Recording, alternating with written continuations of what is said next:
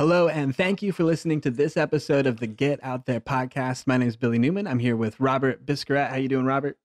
Hey, Billy, I'm doing well. How about you? I'm doing good, man. Thanks for calling in, doing uh, episode five. We got uh, we got the feed started. We got a, a couple episodes up. It's kind of fun. Thanks for doing a Yeah. podcast. Yeah, we're moving right along.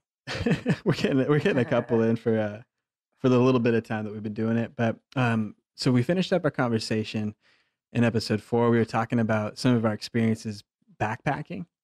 Like uh, I was talking Yeah. about the Wallowas. You were talking about that King Range trip that you had. And I know at the end of it, we talked. We just kind of come up to that idea where we wanted to talk a little bit about some of the equipment that we brought with us, or like some of the Mhm. breakdown that we had of the gear that we would bring when we were backpacking or when we were doing other stuff. I wanted to break that that idea down with you a little bit. Yeah, I mean it's it's pretty important. It can make or break a trip, kind of depending on what you have or don't have. yeah, yeah, I've uh, I've definitely uh, mispacked before. Oh yeah. So, oh, go ahead, Robert. Oh, I was just gonna I was just gonna say, um, do you do you tend to overpack or underpack? Let's see. I think. Uh, well, so I guess if going for backpacking, originally I was overpack. Now it's probably still overpacked, but I've gotten it. I've gotten it pretty tight. When I'm in shape for it, I do an okay job. But what I noticed though is when you like you accidentally or you just mishap and don't bring something that you really needed. Like um, the one Yeah. that's always been for me is like a sleeping pad or something like that. Like where it's like Oh. that thing where it goes from like it's like 30% less of a comfortable trip just because of that one thing that you don't have. yeah, and it weighs so little. yeah, you have you have everything else in association with it, but you don't have that one piece. That I think that's happened a couple times before. Like, I don't know, it's probably happened with like my stove or with food or something like that. Like we talked about Tabasco on our last trip. Yeah, like, oh, if only I had that that just one ingredient, this would be rad. But- See, I I'm I'm uh the opposite. I always tend to overpack. I like I I go overkill. I just start getting into that mindset of like, well, okay, well, what if I had to make a splint? Well, okay, well, I'll need rope. Okay, uh, what if I had to do this? And I just get into all these, you know, hypotheticals, and then I end Oh, up yeah. packing for every uh, situation I could think of. I've packed for way too many hypotheticals. Yeah, but you know what's funny is uh, you do all that planning, and then the one thing that would happen would be the only thing you didn't compensate for, Oh, and yeah. no, it's it's really true sometimes. That's a that's a weird part of the compensation about the outdoors. You get like you can plan for a lot of hypotheticals. And I want to break this down with you too later probably, but like the idea of like equipment that you bring versus risk. Like how likely is that risk to happen that you need the equipment?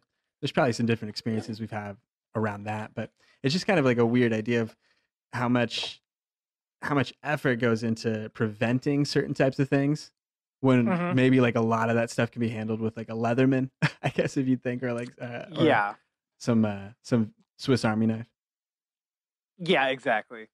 or but like some level of good base gear. It seems like that's the thing that I've gotten the most comfortable about in the last I don't know couple times of backpacking or like the longer uh, times that we've done backpacking when you get like a little bit more focused in on just the few things that you need to do for that five day period that you're going to be there because that's a really that's the big thing and, and the it's weird how you notice this the longer that you go out the less you you finally realize the less you need to bring at all like if you're going Oh. for 80 days you almost need to bring nothing but if you're going for three days you seem like in your mind you need to bring everything yeah, that's that's funny you bring that up because that's exactly how that works too. It's Isn't just that- like I, I don't? I don't know if it's like the the complex of like you just can't you just can't really foresee 80 days in the future so you just you kind of give up you're like well I can't even plan for this you know right so yeah I'll just bring my minimalist stuff or in where in 3 days you're kind of thinking like well this might happen this might happen uh day 3 okay this I'll need this Yeah, you're trying And to then- navigate every corner and every maneuver of this future map of, of circumstances that you might run into. And it's And just, then you- yeah, you can't. Yeah you you you do the thing where like uh you know you're going for three days also and you're like well wow i have so much room you know i only have three days worth of stuff which is pretty minimalist and then you end up going oh well i got room for this and this and then Snacks. before you before you know it yeah you're just packed up man. let's put a six pack in the top. Yeah, let's go. Yeah, it, it- yeah, it, that's happened a couple times.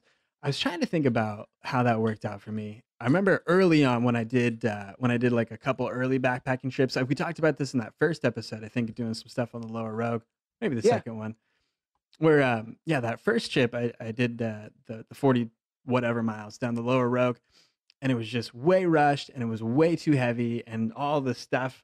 You like we brought a bunch of cans, but we didn't have a can opener and like yeah, like what, like what was this what was the system that was going behind this like you you know you, you get things that work in a kitchen but there's no system behind that that helps you uh, you know do that in the backcountry i guess if, if or you know keep things uh, good or like purify enough water to have uh huh. i like that's always that was always one having enough So, water with you So that's something I want to ask you. What kind of uh, what kind of water purification do you? i have always been prefer? Under under tech about this. Like I really wanted more equipment for water purification. It's probably Uh-huh. been uh, well, you know, I've been fortunate a lot of the time, but yeah, it's it's been risky maybe one or two times, but I've only ever had this squeeze bottle charcoal filter. Like you fill it up with maybe 12 ounces of water Oh, and you yeah. squeeze it out of this filter. What we would do, Marina and I, when we go backpacking, we were up in the Wallowas, we were up in the Trinity Alps, we were up in the Tetons. It was a lot of spots where it was like really clean snow melt. So it worked out Uh in our favor a lot of times. On the other hand, there was times where we were on the lower rogue in the canyon and there's really no good, you know, it was mosquito puddles that you're well, or whatever it is. Well, that's that's where I caught Giardia. Not drinking out of Ah. a mosquito puddle, but Yikes. yeah, that was that was nasty. And that was my filter broke, and that was the biggest thing I learned was uh, I don't know. You always hear uh, an ounce of prevention is worth a pound of cure. Um, Ooh, yeah. like it's ah man, just maintaining your equipment, cleaning it after every trip, uh, doing just doing the basic maintenance that your equipment requires. See, that's that's something I'd not understood for a long time. And I, yeah, the, the system that we had for water was super basic. Like we just we'd fill up the twelve ounces, we put the top on, and we'd like squeeze it. You have to like kind of crush it through the charcoal filter to get it to to and those Cleanse? those move slow too. way slow. And so you Yeah. crush it out. So we'd have like our Nalgene bottle like between our knees and our hands just kind of like crushing down on this creek water that we were trying to put that we were trying to put in our Nalgene. We had like three or four of them that we had to sit at the creek at to pump out, you know, I don't know, two or three liters of water to take back to camp with us or to go hiking with for the next uh, rest of the day. So I used that. I used just that one filter for like 3 Uh-huh. years.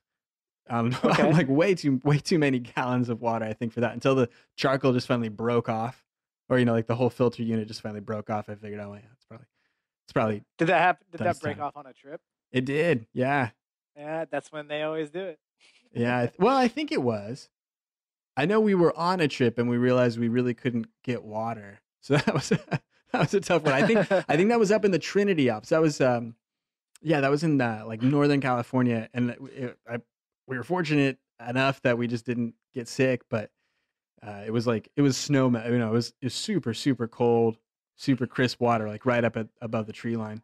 So it was yeah, when you're up above pure. the tree line, you're usually pretty safe. I mean, you're gonna your chances of having an animal defecate or die in the creek or something is pretty minimal. yeah, But yeah, uh but Yeah, yeah, I know like crazy. when we were in Kings Canyon, there were a ton of places where I mean, after the Giardia incident it was kind of like, you know, I'm not taking any chances, but at the same time, you know, if if it was ever if I were ever in the situation where I needed to take the risk, uh I couldn't really picture a better place to take it. oh yeah, then somewhere somewhere like that. Well, do you do you carry like iodine tablets with you? Had you done that for water purification ever? No, I haven't. I've heard they've kind of got a funky taste. I don't know. I've heard that they Um, do too, but I guess I've heard like, uh, well, I think maybe this this situation like we're talking about is, I guess have that maybe around for your your backup water supply. I don't No. know. Nope. Would you not do it? Yeah. I just nope, Jardy all the way, man. like... well, so what what was the water filter that you picked or pick now as the one Um, you use? Because I need to can't buy remember one. the specific name of it, but it's a Katadyn, or um, and I But love it, man. It's like it's like two two liters a minute, so it's actually Wow. a pretty, yeah, it's super efficient, and uh, but it's got like a filtered end on a hose, and then it's basically got like a, a hand lever, like you would see the old the well pumps uh back at like the turn of the century, how people would pump out of the groundwater. Sure, that makes sense. um, the same same basic setup, and then it runs through a filter it has like a sediment trap that'll catch any large sediment coming in, Okay. and then it goes up through like a carbon disc, and then it comes down through a charcoal fil- filtration system, and then back through an actual um, like I don't know some kind of cloth filter. So it has three three variants of filtration before it actually gets through to your to your to your Nalgene bottle, bottle or whatever yeah, you're putting bottle. it Yeah, into. Yeah. that makes a lot of sense. Has it worked So- out pretty well for you? Like, did you use that downriver a lot, or did you guys have other systems on the boat when you're doing guide Um, stuff? Uh, you know what? We carry all of our own water on the boat. Like uh, before we leave, we'll we'll pe- load up, you know, five or six uh, five gallon cans of water. Yeah, okay. I would figure that makes a lot So we just sense. bring all that.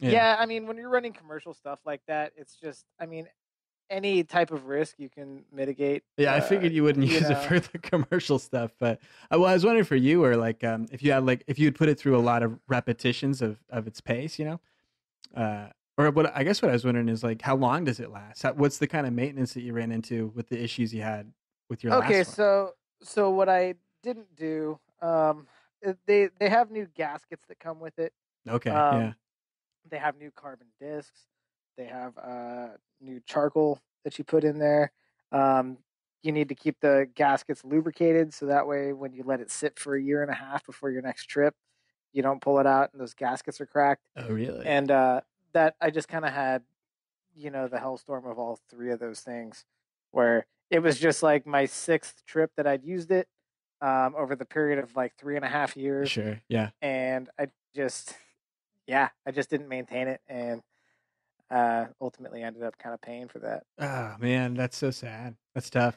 I, well you know lesson learned though Oh yeah, sure. I get that. Yeah. I remember there was Yeah. uh there was one trip that we did.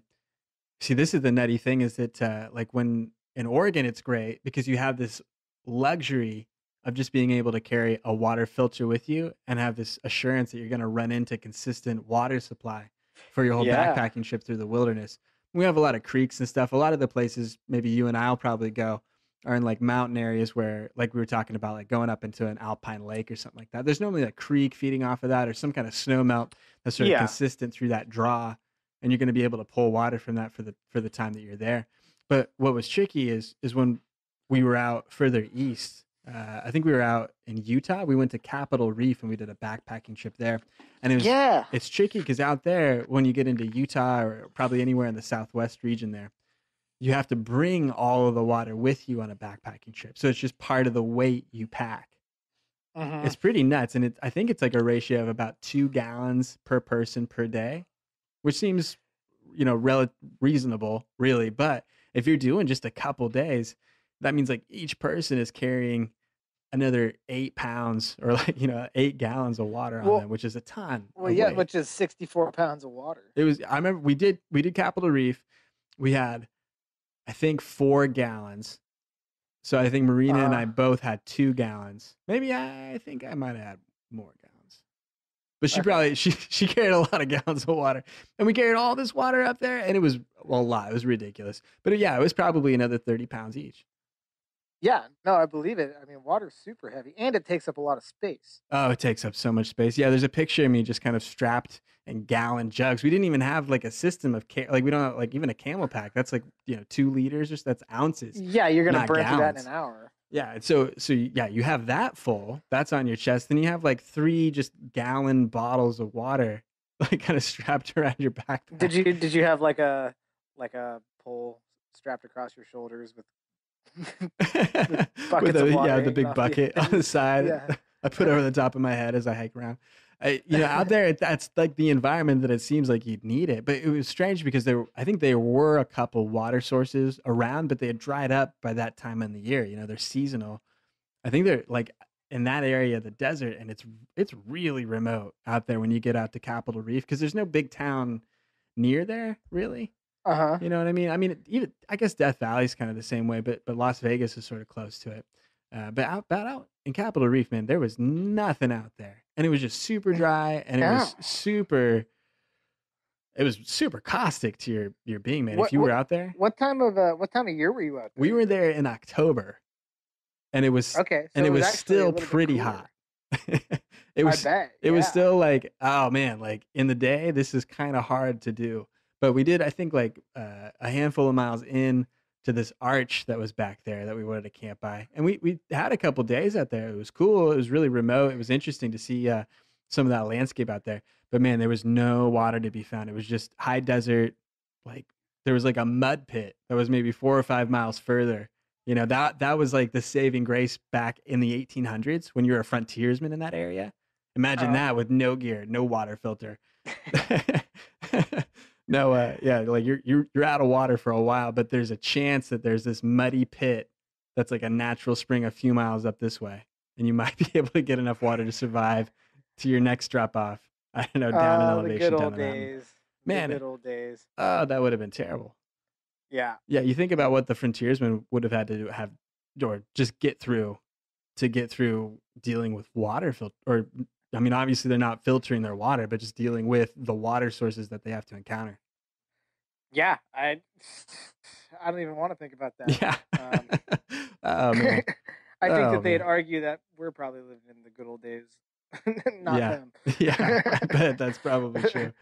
Um, but yeah, I don't think I've had like a big problem with the water filter before. We've done well, we because we'd always like have it so that we just have like a big store of water on us while we were while we were moving, and then Yeah. um, well, I was gonna ask you about like um, if we were moving on from from what we were talking about. I wanted to talk to you about like the stoves that you that you would bring. Have you Yeah. brought like a stove with you much backpacking, or or do you try like not? Well, yeah, because you do uh, just the Jetboil food all the time, right? Yeah, so that's that's my primary is my Jetboil. I mean, you can really do just about anything in there.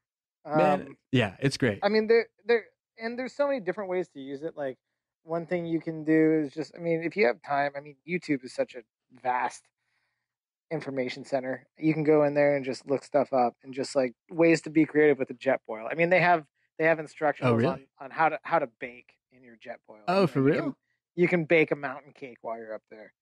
I didn't uh, know that. I burned. I burned a lot of stuff in that jet boil. well, because it just like it just goes to like hot right away. There's I don't even I don't know how you bake in it, but that's Mm. really cool. Yeah, it, it it it honestly it seemed like more hassle than it was worth, but uh yeah, so I Yeah, haven't bring a it, slice of but I mean, but it is possible. Um, that's me see. cool. So Other than that, I've just got this like this cheap little uh what is that? It's like the isobutane. Is that what we run those I yeah, canisters? I I remember think that. that's what it is. I remember that little Um, stove. That's a cool one. That's a good backup stove. Yeah, and it's just like a you know I think I paid like thirty bucks for it. Man, the thing's tiny. Like it's just a little backpacking stove, Sure. and it's awesome. Sure, I think those are really useful. You know, we did we did like our our 50 day trip. We did that with just the Jetboil, and we did as Uh-huh. much as we could with that that second uh, trip uh, that we did for like 100 and 110 days or whatever it was. Yeah, We did that with the Jetboil. We had to buy like a a propane stove, like just a, s- a single kind of the same idea as a Jetboil or a backpacker stove, where it's just Yeah. a burner that fits on top of the on top of the tank. We had to buy one Yeah. of those halfway through the trip, and it was nuts because like we just worn out the Jetboil. It was nuts because like so. Um, I guess So if- when you use one for 110 days straight, they they have a hard time. yeah, if you unscrew it, and screw it back together. But we we still cobbled it together to work because we like we needed to boil water. I remember it was out on the Yeah. Oregon coast. I think it was a, a spot that we had taken you to after that. Um, was it like Sisters Rock area? Oh yeah. Do you remember when we were went there? That was really cool. Yeah, That was a cool spot. It was fun to. And so we were there the year before I took you guys there, and uh, we had camped there for better half of a week or so, and we were using the, Mhm. the Jetboil to you know make coffee and do everything with it. But the the stove part, the threading that goes down where it would connect to the gas canister, canister had like started to wear out, so it would pop, it would blow the the stove off of the tank. Like the threading would fail, it would just it Oh. would just pull apart, and so it was like it, it was leaking, and you couldn't get it to seal tight enough so that you could you could get a connection from the stove to the tank to draw the fuel out to burn. So that brings me to uh, something I, I want to bring up on this Yeah, is a big thing that I factor in when I'm packing is materials to fix stuff. oh yeah, Um, like that's huge. I mean, like one thing that was good to have in your pack is that uh, um, it's it's like the plumber's tape. Um, it's like a Yeah. thin nylon that you wrap around threading to to make a gasket essentially. Um, they make it for for gas, so like propane and stuff. Um, it costs you like a buck twenty nine at you know your local plumbing store or Home Depot or something, and uh, and that's great to have in your pack for exactly that situation because those threads are like a thin aluminum. You know, Yeah. I mean they're not meant to be taken apart and put back together thousands of times. yeah, I've torqued So at it a lot. in a situation like that, I mean that gives you, you know, it's gonna create a seal, and you could probably you know milk it for another month or two doing that. Yeah, so that's that's exactly what we did in the moment when we were out there. Is um, is Uh-huh. we took uh, we took the electrical tape that was in the glove box, and Oh, we yeah. we cut like a slip of that, just like, and we had to do this like all the time. We so we we'd set it up on a new canister, and then we would not break it down. We wouldn't touch it until that canister was finally finished. But we used it for the for the for almost the rest of it. Like the the part on at Sisters Rock on the coast, that was like day fifteen of a hundred. So we used it the oh whoa, we used it the rest of the time. We had to we had to kind of supplement it with some other thing. Uh, yeah, but uh, but yeah, we just we had to put put a little bit of um, of electrical tape around the threading and then and then try and like gently work it together so that it would hold enough so that we can boil our water and cook our food. But we did that a lot of times, man. We ran through like another half dozen canisters of fuel before we finally probably retired that thing. Yeah. Uh, well, that's great, man. I mean, that's that's what it's about. That's what's cool is like being on those long trips, or you know, even just a trip where you're away from things. Like it, it, it forces you to be resourceful and kind of oh man, I love that. figure out what you can do with what you have. Ugh. Yeah. Our tent broke. Our tent pole broke at one point. It was in the wind. Our tent was set up. It was weighted down. The wind came in while we were hiking and it it crushed that tent, man. It like it just torqued that thing over and it, it snapped one of the poles. It snapped the one that was kind of under the the heavier tension load. There's a few that were it was an interesting tent design, but there's there's like, you know, one that was like it didn't matter. There's the other one that was like Mhm. torqued around 180 degrees. It was almost like both points were almost touching each other. And that thing just like crushed as the tent rolled over on its side. We were like, well, shoot. And it was kind of a weird tent. We couldn't really get a replacement pole in that length and that size. And so we had to like Yeah. figure out a way. I think what happened is if you would imagine, you know, that the there's the aluminum piece and then there's the peg of the next aluminum pole as it comes together with you know Yeah, the tent pole it has like the collar. Yeah, that collar. What had happened is that is that the it just broke out of that. Like whatever piece inserted into the piece next to it, it just snapped Oh. out. It kind of like broke out that uh, that first top inch of the piece of aluminum. And so we went over to this can that we had. It wasn't like a Coke can. I think it was just like some tin can that we'd had chili in, something something Uh-huh. like that, or some canned tomato. And so we like clipped that down and had to roll that with a pencil to get like a little tube and we like Yeah. rolled that around the broken part to be a splint for our tent pole so we could keep our Yeah. tent together on a camping trip but we we still i mean the tent's still like that we use that tent for like another i think like we are saying another like six or seven months way too many trips God, that's awesome, man. What was that like being out there on the road on the what 115 days? Oh man, it was so cool. Well, that that comes back around to what we were talking about a little bit at the beginning when we were saying it's nuts when you think about what you need to bring for three days versus what you need to bring for in this case like a hundred days. My thinking about it was not very clear. I was only thinking about like the first week. It was really just bring everything, bring everything, have it in your car, be loaded down. I even did this the year before in the car, and I thought I like knew better, but and I did know better. I cut down a lot of stuff. It was a lot easier the second time around but you really notice that almost everything you can leave home in a big way as long as you have Yeah. your, yourself and, and some level of resources around you you can probably Mhm. get through or you know like survive most days and get to the next one in in a significant amount of comfort you know if you don't put yourself through hell i suppose but it worked Yeah. out it worked out really well a lot of the time like for it was strange because I, I guess what i would say is after maybe the first two weeks first three weeks i'd say after 15 days your body acclimates to to what it's doing in a in a kind of weird way i don't know if you had this Yeah. like firefighting or uh, or if you've had it in like some other situation but it seems like after maybe some number of days it seems like you just get a little less dirty every day or you're you sleep Man. a little better at night when you thought Yeah. there was no way you could sleep that well Exactly. but that's what happens, man. It's like your body just acclimates. And, and actually, I was talking about that with my dad yesterday. We were talking about how, you know, uh, where we live, it's pretty quiet. So like, um, we go and stay somewhere like in the in the center of like a city or something, and you can hear people talking, and you've got street lamps on, Totally. and you'll you'll lay wide awake for the first two nights, but then on by night three, you know, it's like you just get used to the background noise and stuff, and you just tune it out, and you're just falling asleep. But it's the same thing with being on the road or being up in the hills. It's like, uh, you know, you you get past that initial "oh, I'm dirty" feeling, and then that's just the way you are. You No, know, it's really true. you just you adapt to what you're doing. And there's there's physical things th- too that happen. Like I swear that I mean maybe like a suntan is a good example of it. When you when Uh-huh. you have no exposure and then you're put under exposure a Mhm. lot more than you're used to, you get burned. It's sort of what happens. So like um if you but if you build up a tolerance to it, if you build up a tan, then you you don't get burned. You don't get that uh, caustic effect from the exposure of the sun. Sort of the same way of, of camping or of being out in the wilderness for a handful of days. Is it seems like you got a little bit a little bit better at it. Like I remember, I mean, probably similar to a sunburn, but man, my lips would chap like crazy as soon as I got over into a different type of climate, or I guess maybe just just a drier atmosphere or something like that. But yeah, as soon as you go east of the Cascades, man, my lips would chap immediately. Or if you went up an elevation, like up uh, into like an alpine area, oh, it was Yeah. terrible. But then after I don't know what one week, two weeks, or something like that, it just wouldn't happen again. And then just Really? that that thing, yeah, where you get or like I the thing that I remember the most, this is maybe more of just an awareness piece. I don't know if this has Uh-huh. happened to you, but I remember I would get cut a lot when I first went camping.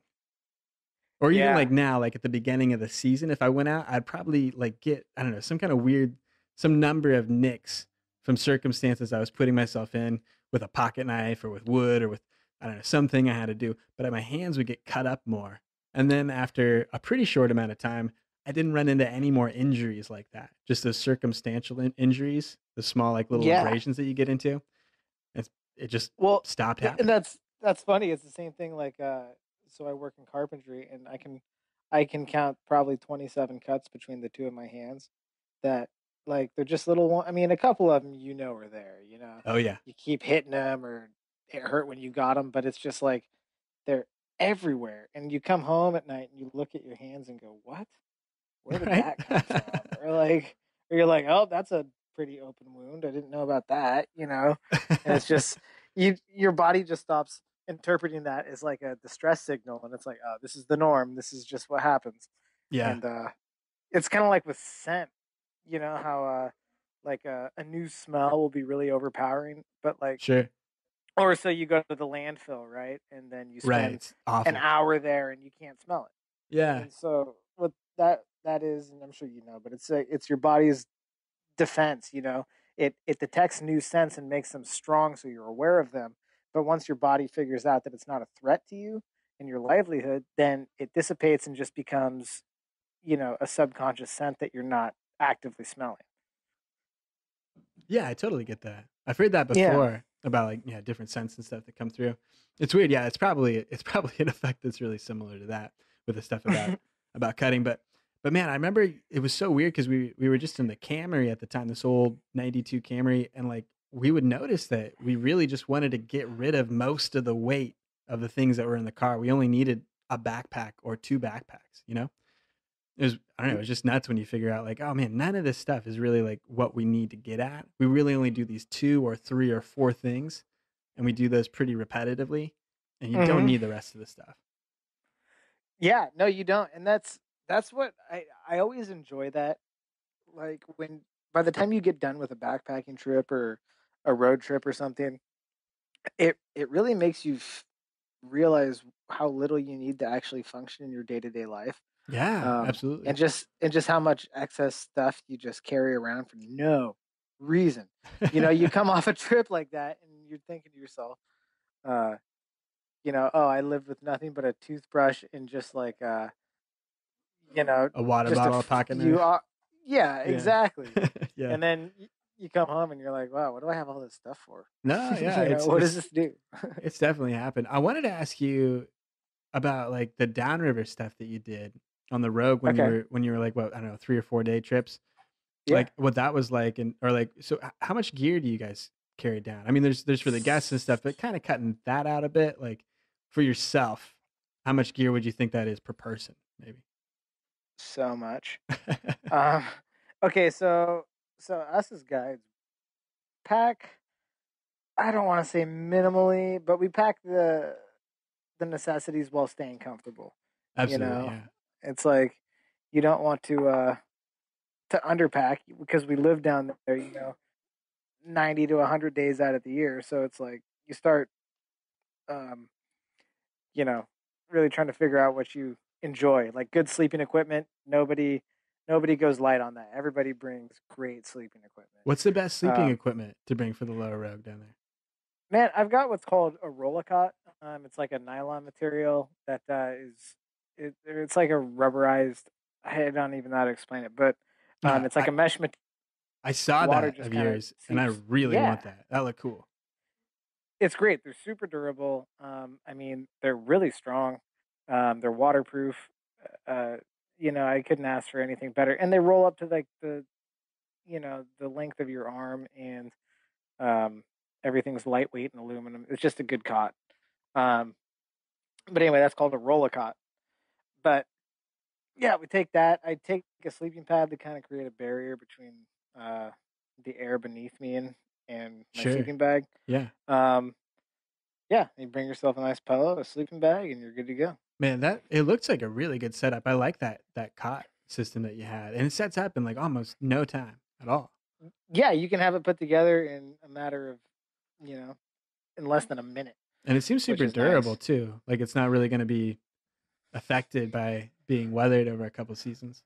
Well, yeah, you get like fabric cots and stuff like that, and they'll, you know, just between the sun and the water and whatever else, what other elements are getting to them, they'll just kind of rip and tear eventually.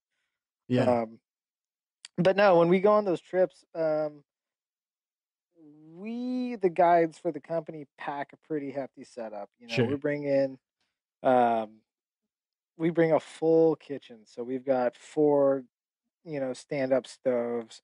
We've got tables and pots and pans and jugs of water and coolers and you know, I mean, it's really it's really a a big operation that we do. yeah, sure. Um, and then you know the guests bring whatever they think they need to be comfortable with um, over the course of three or four days.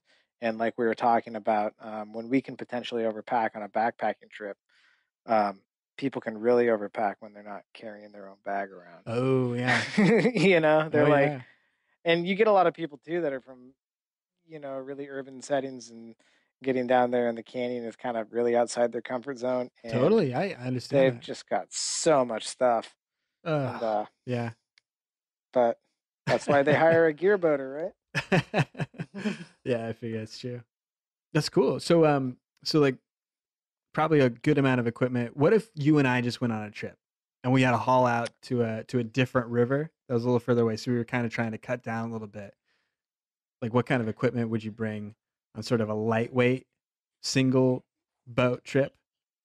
Um, Down a river? I guess a lot of that would depend on what the fishability of the river was. If we Oh, could sure, get away yeah. with potentially eating fish, um, I would cut down on food a good deal. It depends on just how comfortable you want to be. I mean, if you're if you're interested in just having kind of a you know a back to the basics, really kind of fend for yourself experience, you can go really light. I mean, you could go backpacking light with just a little isobutane stove. Oh, and- that'd be cool.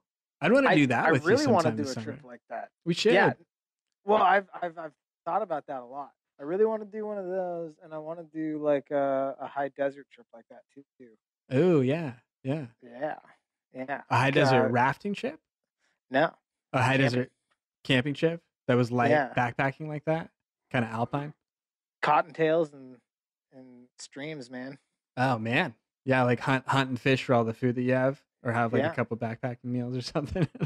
man, that's yeah, cool. yeah, yeah. You obviously bring a backup, but yeah, that would be the idea. That's a cool idea. Yeah. Well, I like the idea of doing it on the on the river though. I thought that would be kind of fun, or have it set up kind of like a like a, a a backpacking trip with a raft. I was wondering how self sustaining could you be from a raft on a raft trip? Like um like how many days do you think you could do a raft trip Well, for? well, I just had uh, some friends that went down to Colorado and they just did uh, 33 days.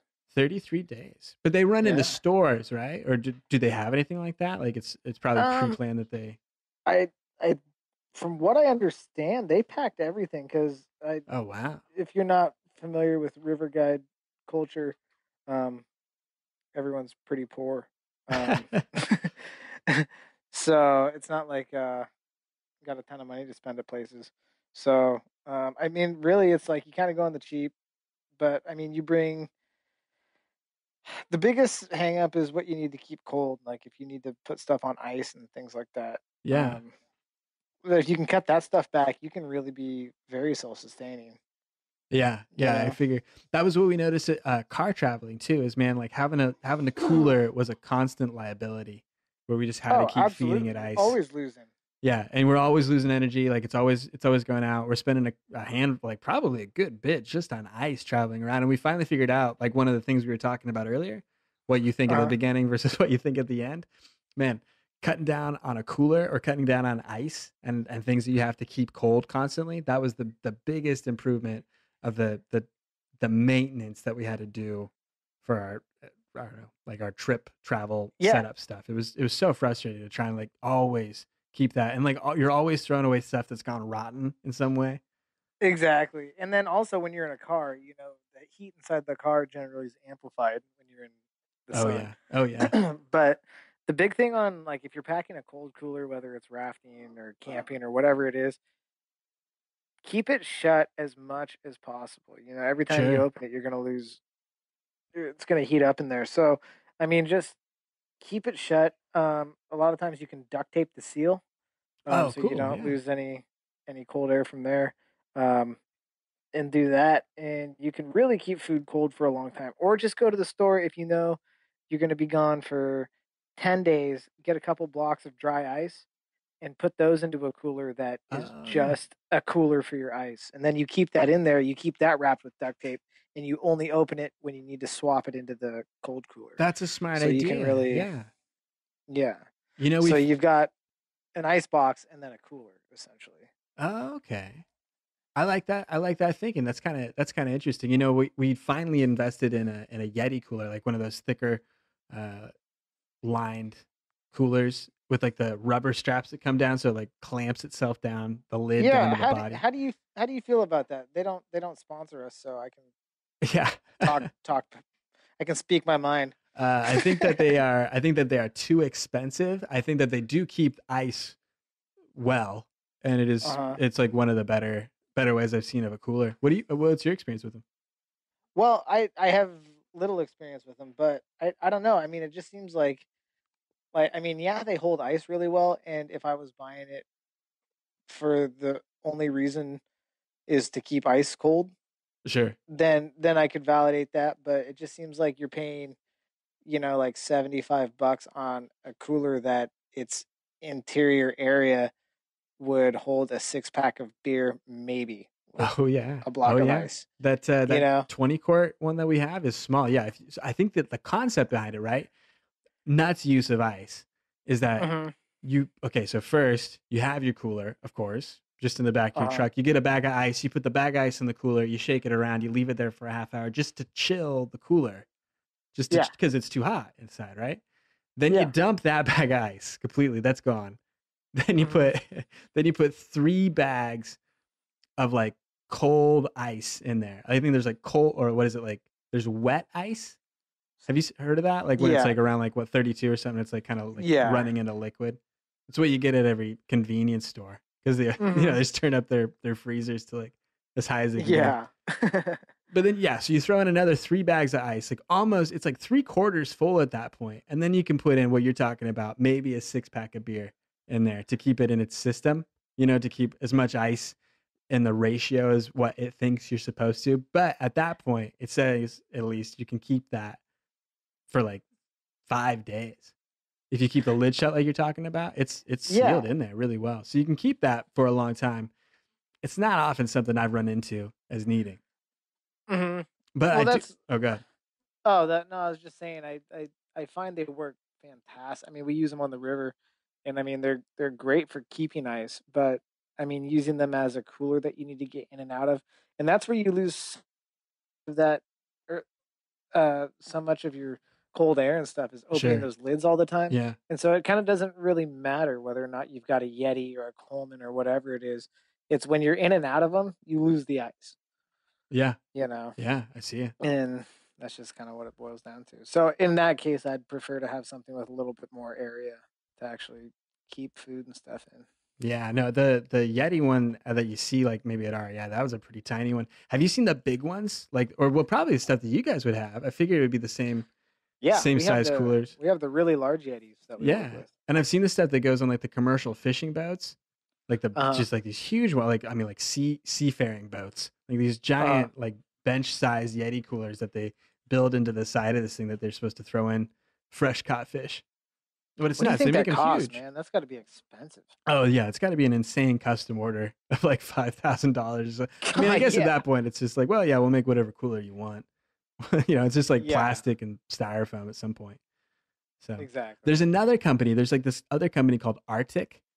Like I think it's R T I C, and they do knockoff Yeti coolers. They like I don't know, drop ship them from China, something like that. But they're like they're like maybe a hundred, hundred and fifty dollars cheaper than the Yeti cooler price. So it kind of brings I've them heard of them. it brings them back in that range of like a Coleman cooler or like something else that's uh you know more reasonable. Well, yeah, and that's that's the thing, man. You start pricing coolers out, and it doesn't really matter what level of cooler you want to get.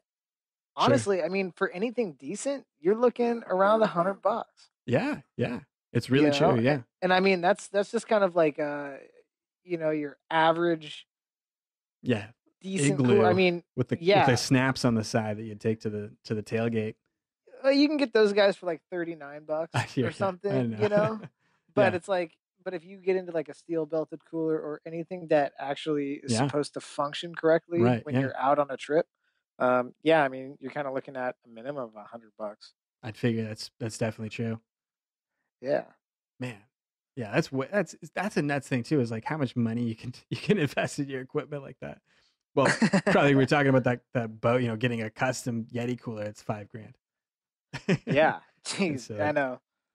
But yeah, man, I don't know. Do you have any other uh, stuff to bring up on this? I'm sure we're gonna talk way more in the future about uh, like hiking equipment, backcountry Well, equipment stuff. I I did. I, did want to touch on you. Um, Yeah. aside from like your basics, like a water filter, your freeze dried foods, things like that. Uh, what are some things that you bring in your pack, um, not on a car trip, but on a backpacking trip? That the, you know, just just the important things aside from the the obvious. Oh yeah, that's a good question. So I mean, I know um, I try and keep my pack under forty pounds.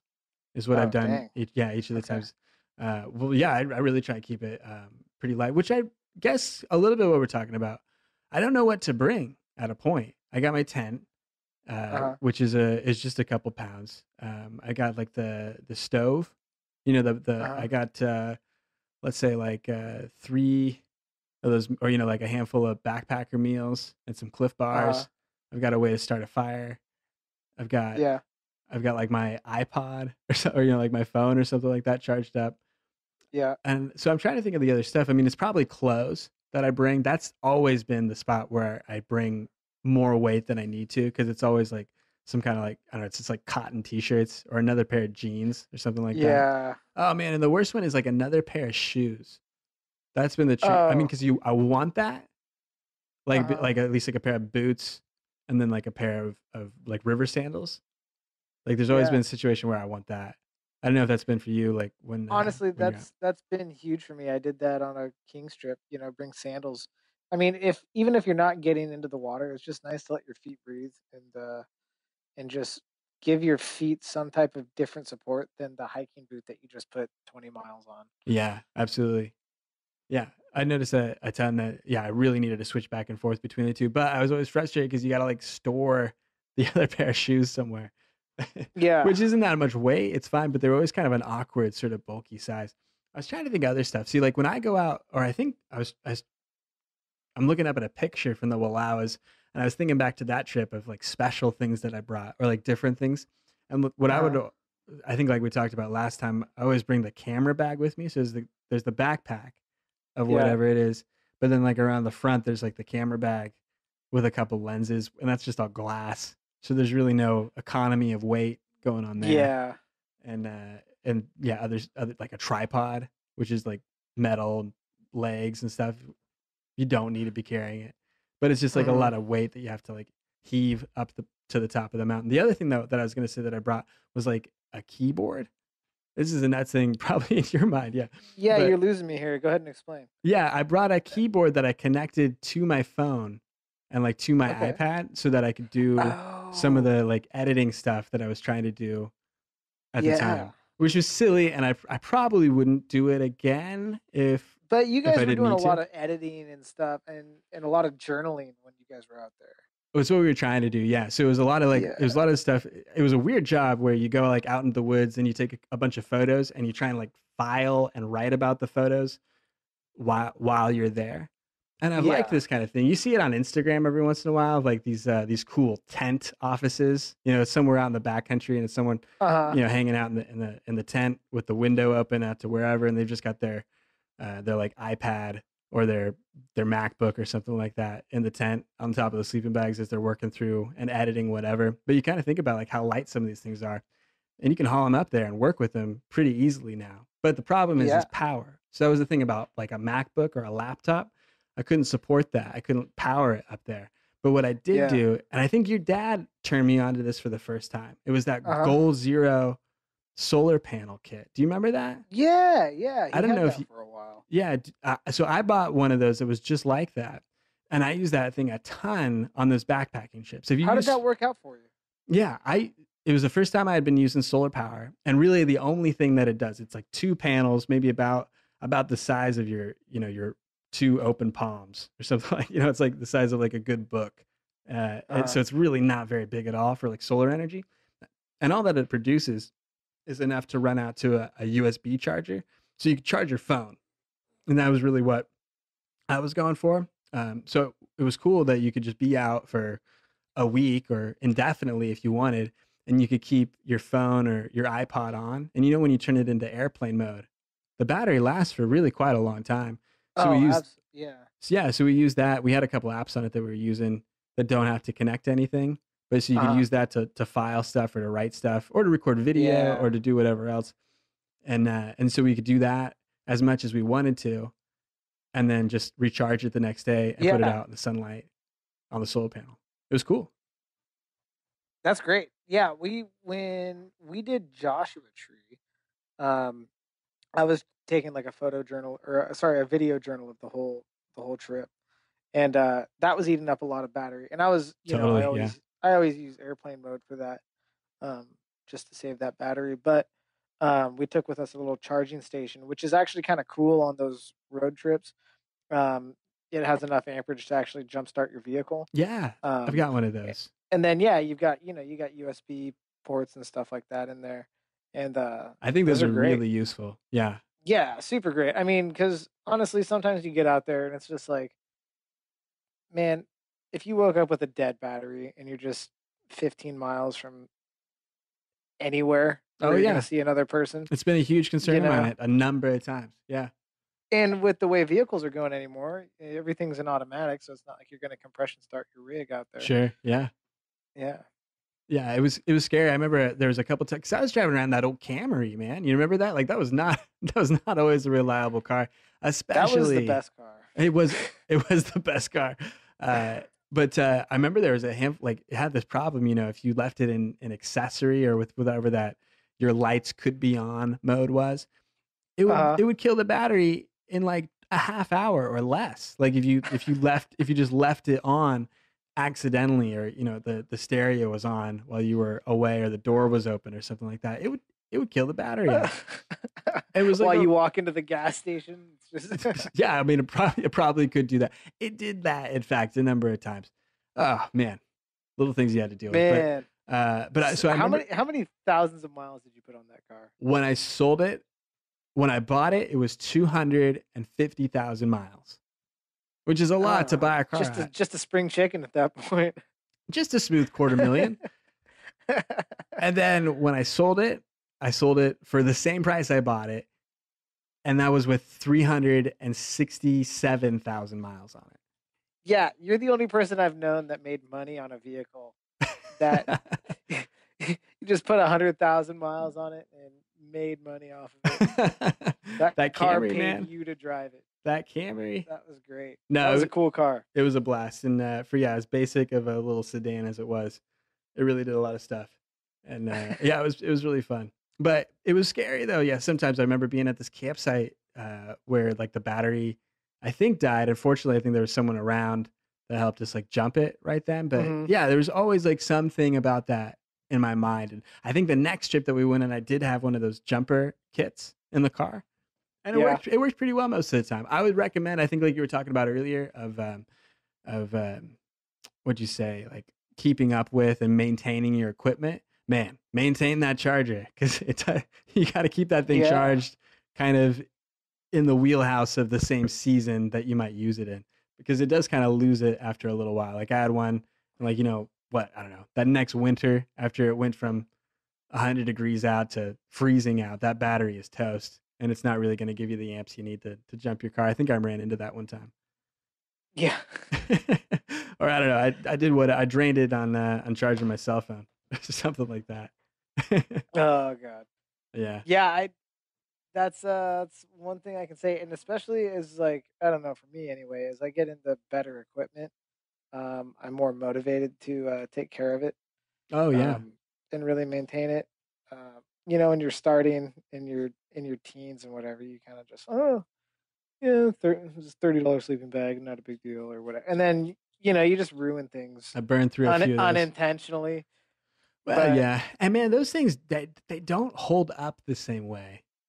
In a No, certain capacity, it's like that's I think a, a good bit of why they've been replaced over time. Is that burned through a couple thirty dollar sleeping bags in you know a Yeah. season or two, and the the zippers are twisted and split, and you go, oh, what what's going on? Or I don't know, stuff with the tent, stuff with stoves, stuff with filters.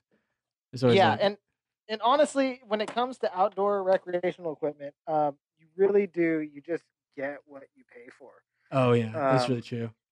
man i i i just got to that point where it was like do i want to buy the $30 sleeping bag three times or do i want to buy the $120 sleeping bag once Yeah, and you know and that's just what it came down to and so i started getting a little more uh picky when it came to choosing my equipment I've been trying to be But- yeah, and there's a there's a range of equipment. There's some equipment uh like you're talking about. I want to be specific. I want to get the good stuff. I want it to work. And then there's a, another class of it. I don't it's kind of I don't know if I've really honed it down well, but I almost want it to be as cheap as possible because it's so likely to break or likely to get lost. yeah I don't know what that is totally yet, but, but I've not, I know there's like a handful of things that I've gone out. I, for unfortunately for me, it's sometimes like, well, it's not always pocket knives, but it's it's like some sunglasses. Sunglasses are a perfect one. Travel sunglasses for me. exactly River sunglasses, I go for the cheapest ones. If they blow off my head and you know in a in water or whatever, there's nothing gone. I don't care. It's fine. I don't want the best gear. and unfortunately the only way to come to that conclusion is to live through that situation multiple times the hard way Man, I've Like- lost. Yeah, I've lost some stuff that it wasn't super valuable, but it was just like, oh, it's just at the bottom of the river now. For yeah, no reason. you know, where Oh. you're ah. still like, even if it wasn't really expensive, you're still like, well, that was twenty bucks. Yeah, I don't have it anymore. Yeah, it's it's a bummer. So there's a there's a handful of those things that have that. Oh, this is probably just gonna get damaged and get bro- blown out, whatever that is.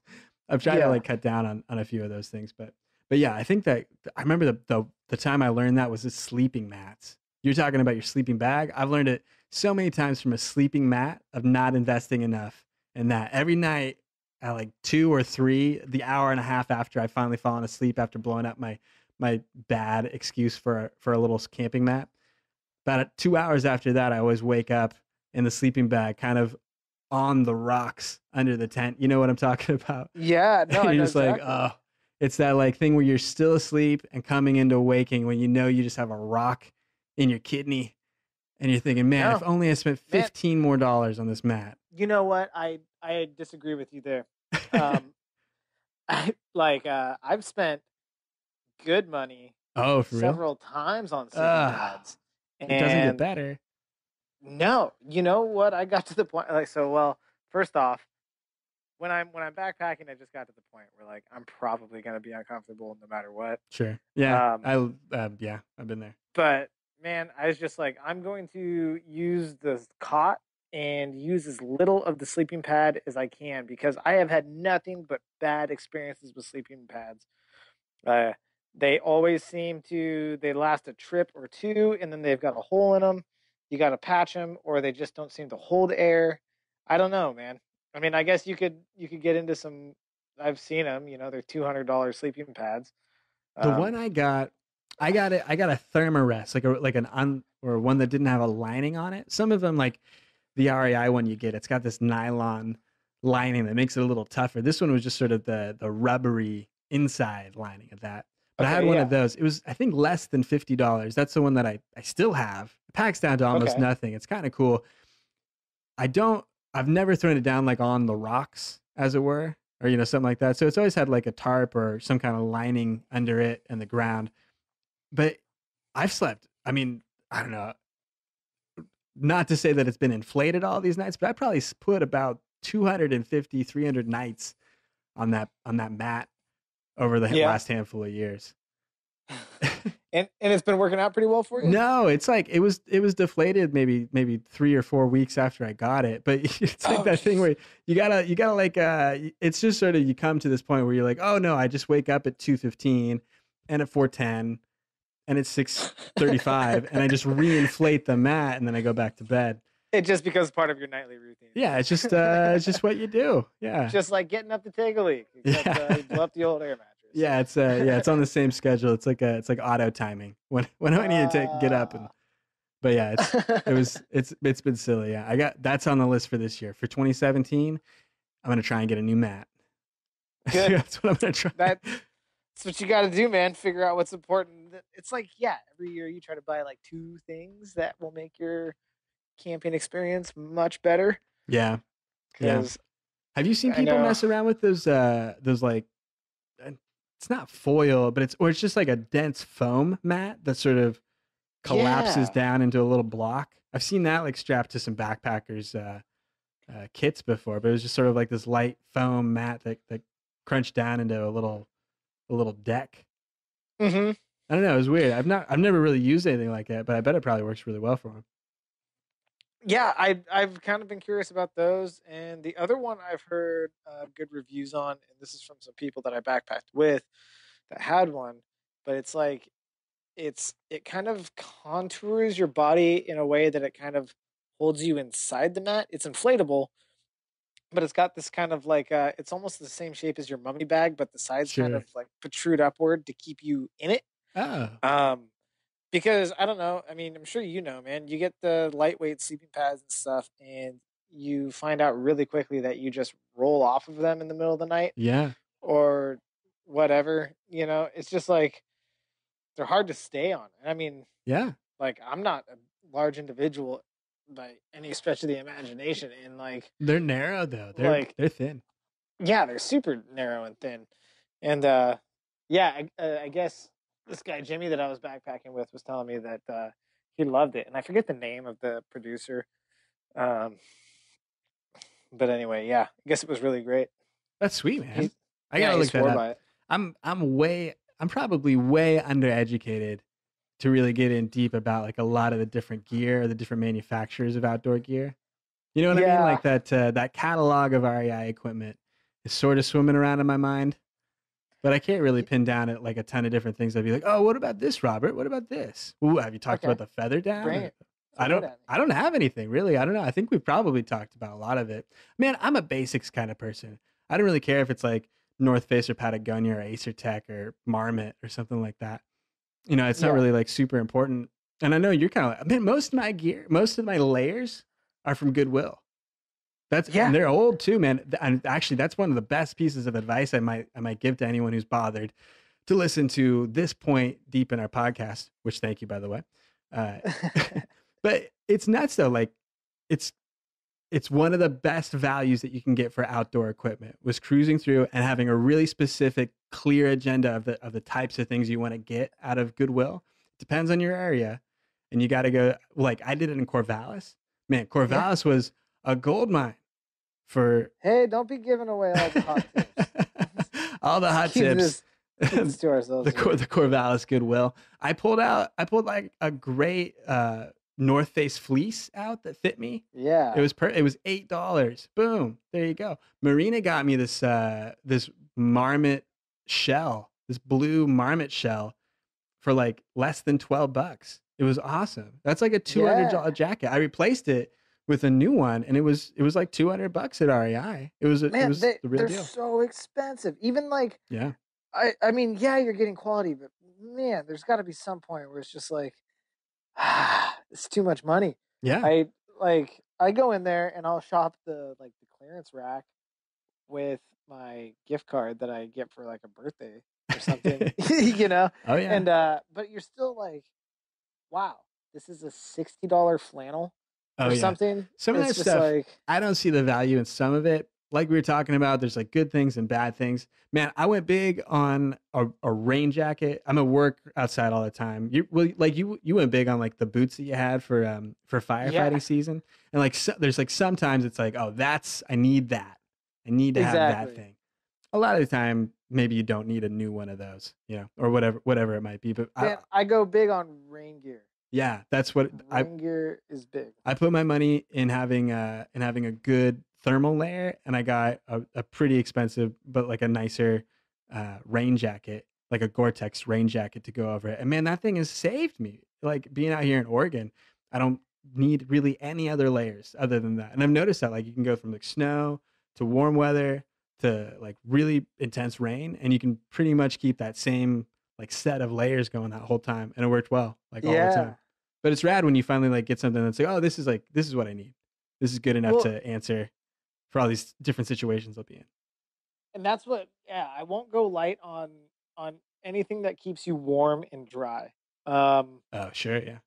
first off i don't even know if there's a really good way around going you know going getting around the expensive stuff on that Oh, yeah. it all seems to be pretty steep no matter where you go but yeah, like i mean when it's hot you can always shed layers like you can always remove clothing sure, and yeah. get cooler. But when it comes to being cold and wet, um, man, that that's the difference between a good trip and a bad trip, or Yeah, absolutely. a good trip and a serious it's changed my experience a ton. I mean, just just kind of working outside a good bit through the day.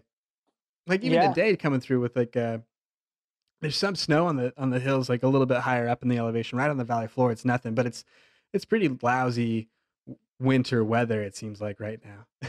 Oh, but it's like it's just waves of rain like every 45 minutes or so. It's like 45 minutes on, 45 maybe 10, 20, 30 minutes off, then back on to just kind of this drizzle, this light rain drizzle that's coming down all the time.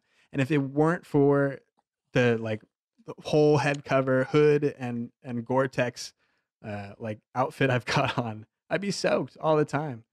Oh man, and Yeah. like shoes, shoes are a huge one. Like uh, we should talk about hiking shoes sometime. Like cuz you've had like uh well, what's it? What's the the the boot that you go for a lot? mine are the uh, the Merrell. Yeah, the the Moabs. Merrells. Yeah, yeah, I like those. man, I I've never had Merrells, but they seem pretty Man, cool. they're a great boot. Uh, they're God. You know what? Honestly, when you price shoes, shoes are expensive. They no are expensive, What yeah. you're looking for, honestly. So I'm not even going to say these are expensive. I, mean, they're in the hundred and fifty dollar range, Yeah, yeah. but Same as a pair of Jordans. Yeah, exactly. Same as a pair of It's just Yeezys. Way less. Way less than Yeezys.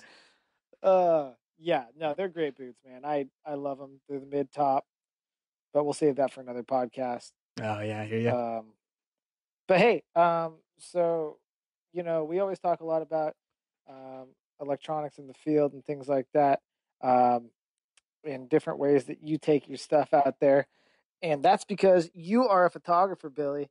And Thanks, Robert. You take great photos.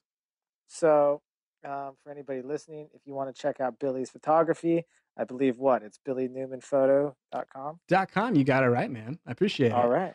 Yeah. So check out go some check it out. Photos. Check out this podcast there. It's uh it's hosted on that site if you want to check it out. And uh yeah, the Get Out There podcast. The feed is up and going. We've got uh information about that at billynewmanphoto.com. You can check it out on iTunes. That's what I recommend. If you're hearing this, you probably already figured out how to get into the podcast app and look for this. But if you are, give us a review or rate it or uh, subscribe to the podcast. It helps us out a lot in the first eight weeks if we ramp Yeah. up those numbers. We're going big time with this one, Robert. Absolutely. How many how many people do we have? Probably three, and then two of them are you and I. It's probably it's probably you and me and our girlfriends respectively. But uh, yeah. it's uh, but but we have passed, and this is great news. And it's under a week, and we're under five episodes in total. We've had a hundred downloads, Whoa. which is big time. It's again mostly me and you. I think Oh, uh, great. It's I think it's like uh, yeah, we're we've got uh, around eleven listeners a show. no, Right maybe on. some like no man. Uh, Hey. It's all it's all uh, it's all ephemeral at this stage. You can't really tell for a long time, but uh, No. but overall though, man, it's really fun. I dig doing a podcast with you, even if if it's zero people that uh, that are listening to it. it's still been a blast. Yeah, Yeah. man. But you're But hey, you know about the outdoor stuff, man. You're good at to Well- uh, talk to you about this stuff. No, it's it's great. I love I love picking your brain too because you've spent, I mean, just as much time as anybody I know doing various types of camping.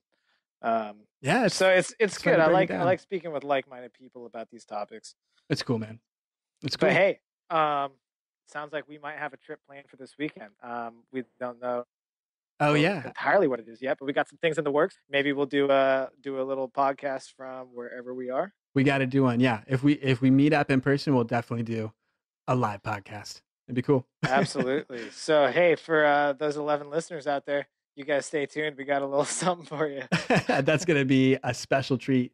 Episode That's right. six coming up. yeah, it's just like, hey, we hung out today. There you go. No, but we'll uh, we'll put it together. It'll be fun. It'll be cool. But yeah, Robert, thank you very much for doing this podcast tonight. Yeah, thank you, Billy. It's been good. I appreciate it, man. So, on behalf of Robert Biscarret, my name is Billy Newman, and thank you guys very much for listening to this episode of the Get Out There podcast.